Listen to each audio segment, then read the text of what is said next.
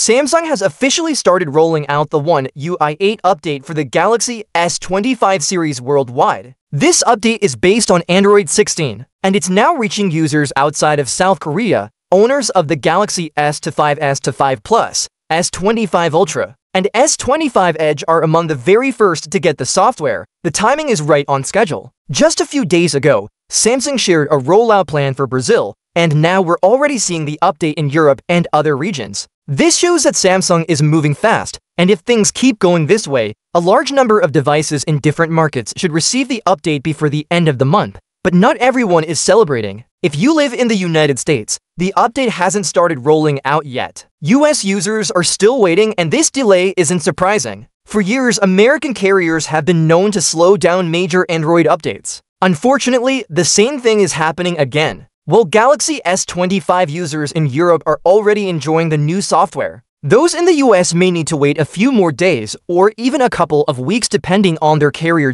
On the other hand, Europe is full of activity. Users in France, Germany, Sweden, and the UK are confirming they've received the update, and many of them are already sharing screenshots online. Reports are also coming in from the Caucasus region, which shows that Samsung is not limiting the rollout to just one area. Key markets such as India, Brazil, and Australia are also expected to receive the update very soon, which means the expansion is happening across multiple continents at the same time. Now let's look at what comes next. Samsung isn't stopping with just the S25 series. According to the official schedule, the Galaxy S24 lineup is expected to get One UI 8 next week. That includes the S24, S24 Plus, S24 Ultra, and the S24 FE. Around the same time, the Z Fold 6 and Z Flip 6 are also expected to join the rollout. This means that by September 25th, users in Europe, Asia, and South America could be moving on from One UI 7 and enjoying the new One UI 8. Experience.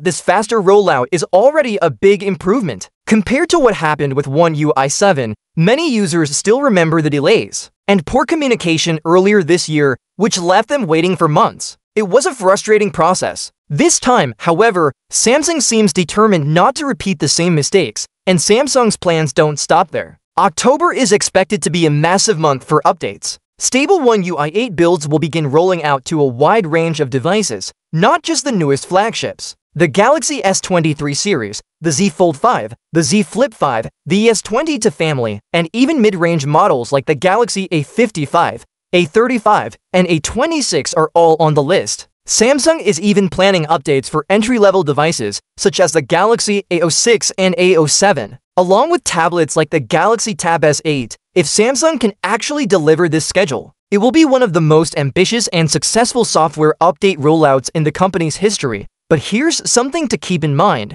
Should you update right away? For many users, the answer is yes, but it's also smart to be careful. Big software updates can sometimes bring unexpected issues like bugs, app crashes, or battery drain. While One UI 8 looks promising, you may want to wait for a few days and see what other users are saying before updating immediately. That way, if there are any serious problems, you won't be the first to face them. So, what's actually new in One UI 8? This update isn't a complete redesign, but it does bring several meaningful improvements. Samsung has focused on performance, stability, and small tweaks to make the experience smoother. These changes may not seem huge on the surface, but they can make your phone feel faster and more reliable in daily use. Keep in mind that the download size will likely be large, so make sure you have enough storage and a strong internet connection before starting the installation. Interestingly, even while One UI 8 is rolling out, Samsung is already working on One UI 8.5.